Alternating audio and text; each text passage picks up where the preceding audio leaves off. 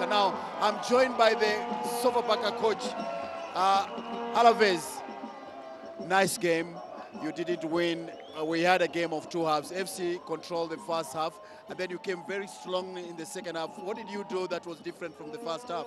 We had to change the mentality of the players because in the second half we were, let me say, a little bit of panic because we conceded the, the first goal very soon. So our players were with a lack of confidence and lack of concentration there.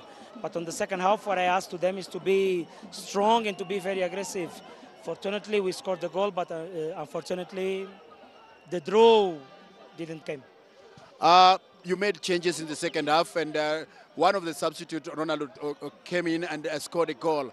I mean, you were mostly in Leopards' half in the whole 45 minutes. I mean, apart from that mentality that you changed, what else did you tell the players during the halftime break? It was simple. We need to react. We need to wake up. This is what they did, but it was not enough. I wanted more, more. But anyway, this is the game. This is football. So, which way is Sofapaka after this game? Now we have to sit, to get together again, have a meeting with the players, have a big conversation, and then see where we are failing. Uh, because I still think it's the lack of concentration, uh, where we are failing, what to do, and how to improve. Well, I wish you good luck in your future games. Thank you very much. Asante sana.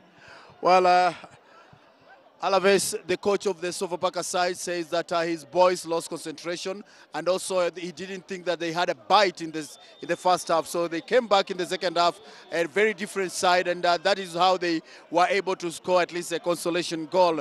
And uh, that uh, was uh, a very, very uh, kind of uh, fight back by the Sofapaka. They didn't get the equalizer, but they, they were. Now I'm joined by the AFC Leopards winning coach, Casa Mbungo. Uh, Felicitation, monsieur. Merci merci mon frère.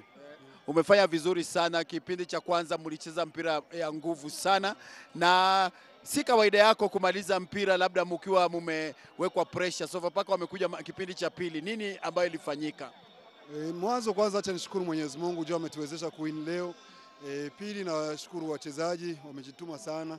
E, tatu na viongozi wako wanajitahidi kutafuta na nafasi kwa kusudi wachezaji wakwe mu hali iko poa.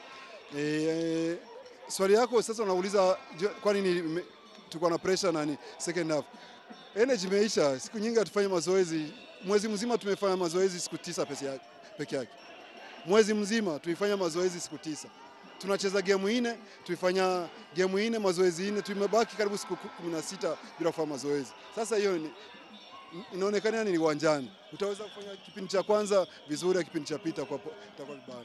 Lakini ongera sana kwa, kwa uvumilivu wako. Kama unasema mjafanya mazoezi, ndio ndio kipindi cha kwanza mmecheza kabumbu namna hiyo, inapatia watu imani kwanza. Mkianza kufanya mazoezi ya kawaida, basi hii ni timu ambayo kuifunga itakuwa ngumu.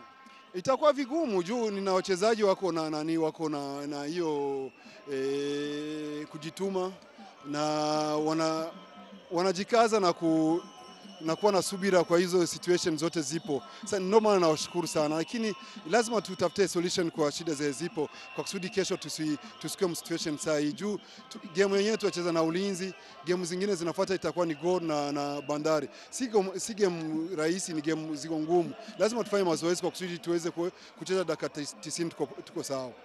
Asante sana coach na felicitation mara ya pili. Asante rafiki yangu. Uh, that is the coach for the AFC Leopards, Casa Mbungo, just saying that uh, he